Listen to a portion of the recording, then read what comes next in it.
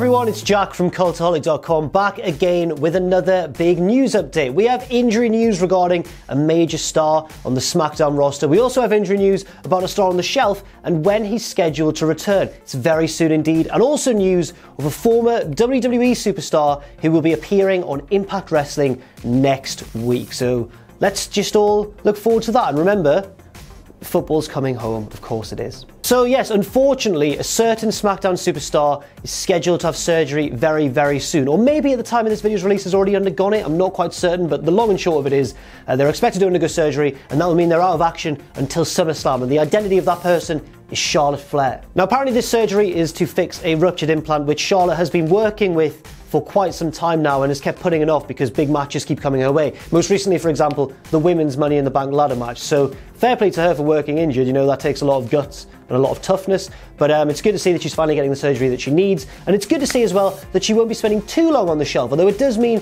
that she's going to miss a little bit of action. Uh, there's no word yet on whether she will be, um, you know, appearing to do promos and stuff on SmackDown Live, or whether she'll simply be completely gone from the shows. But I wouldn't expect her to see compete in the ring until SummerSlam. But then again, I wouldn't be surprised if she did compete at SummerSlam. In fact, I'd be surprised if she didn't compete at SummerSlam given the stature of Charlotte and how big a star she is, not just in the women's division, but in the entirety of the WWE roster. In other news, according to the Wrestling Observer newsletter, Jason Jordan, otherwise known as Kurt Angle's illegitimate son, is set to return from injury soon. Very good news because Jordan's obviously had quite a sizable layoff, and it came at a very crucial stage of his career as well, unfortunately for him. He was all set to turn heel by the looks of it, uh, turn on Seth Rollins, and basically split up their tag team championship winning pairing, but instead he was sidelined with an injury. Now it looks as though he's back, or should be back, in July. He is apparently tentatively scheduled to return in July, and hopefully his storyline just kind of picks up where it left off because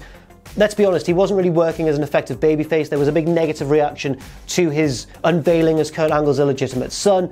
And I think it would be better for everyone, both the fans and Jordan himself, if he was quickly turned heel as soon as he came back. So, yes, tentatively scheduled for July. Hopefully, that means he's got enough time to come back, build a program for SummerSlam, and progress from there into the latter stages of the year. And finally, a big and controversial former WWE superstar is set to appear on Impact Wrestling next week. This comes via an official announcement from Impact's Twitter account, and the identity of that man is Rich Swann. Swann was, of course, a big star of WWE's Cruiserweight division, looked to be a leading light of the brand heading into 2018. He won the Cruiserweight Championship, of course, and then lost it, and then was controversially released after allegations of domestic assault and a domestic incident which took place, I believe, in a car on the way back from a show or something like that. It involved, it involved his wife, who has since dropped the charges and everything, but it was enough of a controversial situation that WWE decided to let him go. It looks like Impact have decided to take Rich Swann on. He's been making appearances recently on the independent circuit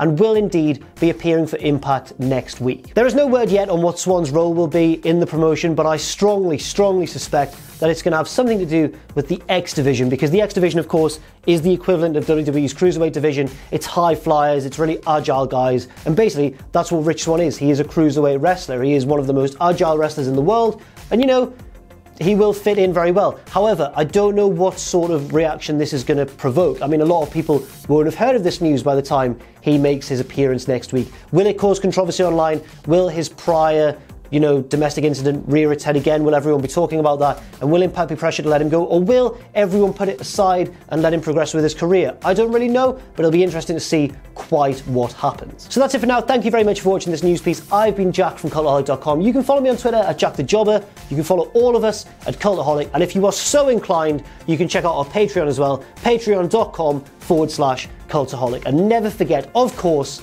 to join us.